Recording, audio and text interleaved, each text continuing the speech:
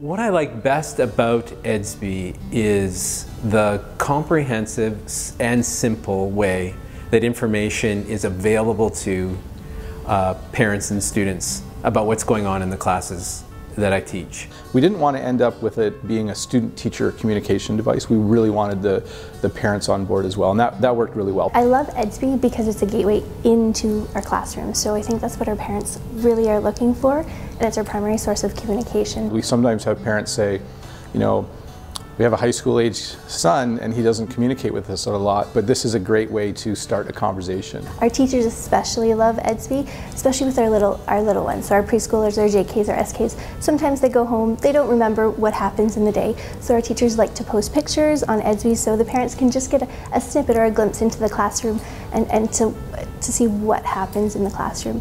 As well, um, it's a nice conversation uh, starter around dinner time for parents. So previous we would use traditional email clients or our school website to notify parents or students of upcoming events or changes to schedules and now with Edsby you can do that instantly from anywhere right in the middle of a class. Usage is extremely high. Parents are well aware of, of if there was an assignment missing prior to a parent-teacher interview. It puts us in the best position we've ever been in as a school for communicating what's going on in class with students students, to parents, and in the school as a whole.